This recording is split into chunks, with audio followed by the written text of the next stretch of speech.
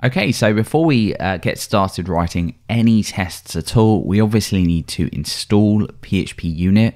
In this part, we're also going to look at setting up auto loading. We're going to create our tests directory.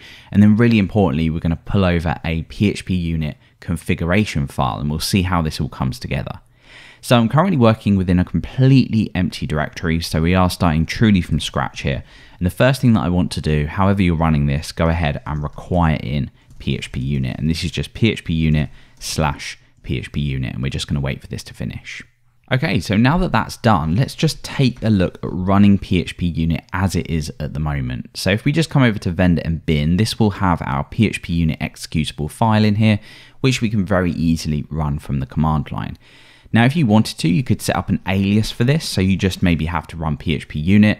Uh, in this case, I have. But what you could also do is manually say vendor bin PHP unit. It depends on which operating system you're working with, and it's entirely up to you. Now, the goal at the end of this part, though, is to actually just be able to run this with no additional options uh, in here. So we don't want to have to run out options every single time. We want everything set up so we can just run this and it runs all of our application tests. Now, where are we going to even place our tests? Well, this is important because we need to define this out when we configure PHP unit and of course, I'm just going to create a simple tests folder just within here. So that is pretty much uh, where all of our tests are going to go. So what I'm going to do now is just quickly set up uh, auto loading. So hopefully you're familiar with auto loading. We're just going to auto load everything from app just so uh, we can start writing out our code in here. Uh, so we're going to auto load here using PSR4 auto loading as normal. And we're going to call our app just app and we're going to load from the app directory. And now that we've done this, we just come over and we're going to run composer, dump auto load, and then maybe pass the optimize flag. So now that we have this done, uh, we need to think about our configuration. As you can see, when I run PHP unit just here, we have lots of configuration options, but as I've already mentioned, we really don't want to have to uh, specify these every single time. Now the basics of this is that when we do run PHP unit, we can specify the directories or files that we want to test. But again, we just want to run everything from tests. You can individually run tests later if you want to, but generally uh, when you have a project, you want to run all of your tests because that's the point. You want to see if anything that you've changed has had a knock-on effect uh, of any of your other code.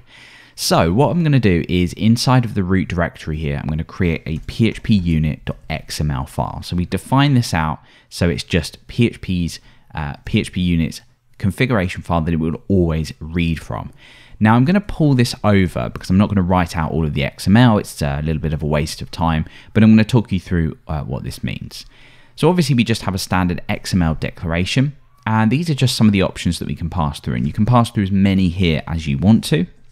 But generally, for very simple testing and just to get started, this is pretty much uh, all we really need. And of course, uh, what I always like to do is take a look at popular projects, maybe on GitHub, and see which kind of PHP unit uh, configuration they're using. And of course, later on down the line, if you get stuck with anything and you need a particular option, you can just go ahead and define it in either here or when you run PHP unit on the command line. So the first one I have here is a really important one. This is our bootstrap file. So this at the moment I've set to vendor autoload, which is just our composer autoloader, but maybe you have some kind of app bootstrap file. So maybe this is uh, crucial to running before you run your tests. Maybe it uh, does something special that you need to happen. Either way, uh, you can go ahead and define in a file there that boots everything up before your tests run. Now the second one here is colors, pretty self-explanatory. This will just add colors to the command line. And I always have this set to true because it's a lot easier to see green and red just to see if your tests have passed or failed. Now verbose will just give you a little bit more output than normal, so I always keep this on just in case. And stop on failure will literally just stop if a particular test fails. So your tests will be run sequentially. If one fails, then uh, if you have this set to true, it will just stop the execution of your test suite. Now that brings us on to the actual test suite declaration. At the moment I have one. I've called it test suite. It doesn't really matter what you call it, but generally this is fine. And here I've defined out a directory that we're running our tests from. Now you can also define out specific files if you want here, but like I said, generally when you're running your tests, you want to run all of your application tests. So this is really all I ever really need. So now that we've done this, the difference now is that when we do go ahead and run PHP unit, this will actually take into account our configuration. It knows where we want to run our tests from. It knows all of our options. We have our test suite set up. And at the moment we see our verbose output just here. If we were to turn this to false, you can see that we get slightly less information. Again, this one uh, really doesn't matter too much. And of course, if I change colors to false, we uh, instead of this mustard color, just see nothing. So I always like to have this on. And that for installing PHP unit and setting up our configuration is pretty much it. Later on down the line, like I said, if you have any specific needs, then you can go ahead and either add them here or you can define these out in the command line. But with that done, we don't have any tests, but we're all set up ready to run our first test, which we're going to look at in the next part.